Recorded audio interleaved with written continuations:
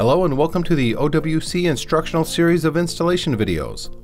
In this installment, we will be installing four 1TB SATA hard drives in the Other World Computing Mercury Elite AL Pro QX2 RAID. We have already powered down, unplugged, and placed our QX2 on a soft static-free workspace.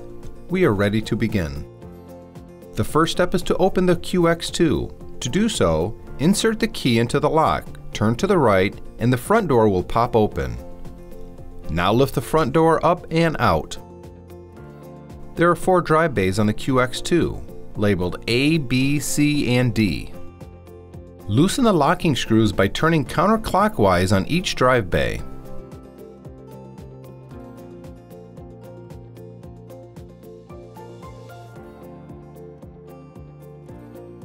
Now pull each drive tray straight out.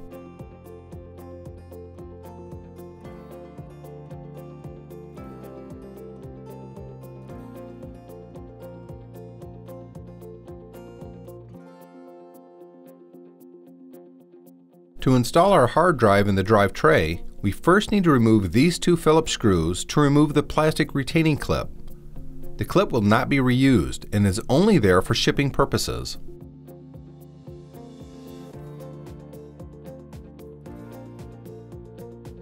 Place the hard drive in the tray so that the locking screw is to the right, and the hard drive's SATA connectors are facing the opposite direction with the top of the hard drive facing up.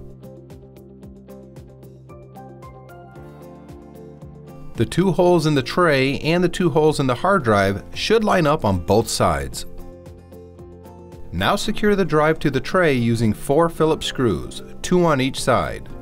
Repeat this process for all four hard drives and trays.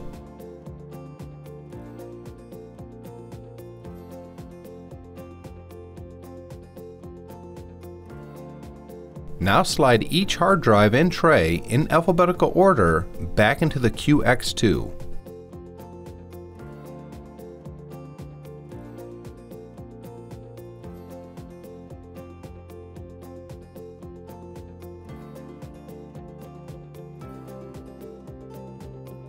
Once all the hard drives are seated, turn the locking screws to the right to secure the drive trays.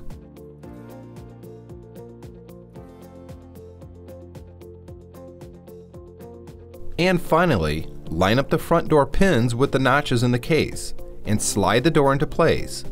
Now close the door and lock it with your key.